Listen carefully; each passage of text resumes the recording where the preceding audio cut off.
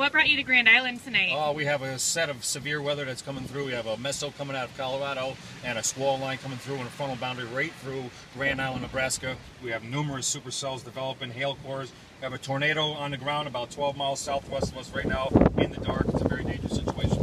Have you ever seen anything like this before? Oh yeah, no, it definitely happens out here in the west. But we, what we have is a converging system. We have a system coming out of the south, pushing the south, uh, very warm, unstable air, and we have a huge meso coming out of Colorado, lifting everything we're going to see right now. Okay, so people on Grand Island should definitely be taking cover at They this should point. have to beware and tell their friends about it right now. We're liable to get some hail, but it's just on the southeast side of most of the city right now, just barely outside the limits. Okay, and so for the next two, three hours, Next two or three hours, we have a second wave. Right now, we have cells popping up above us, but there's a whole frontal boundary coming in in about two more hours. There's also tornado warning cells along that boundary line too.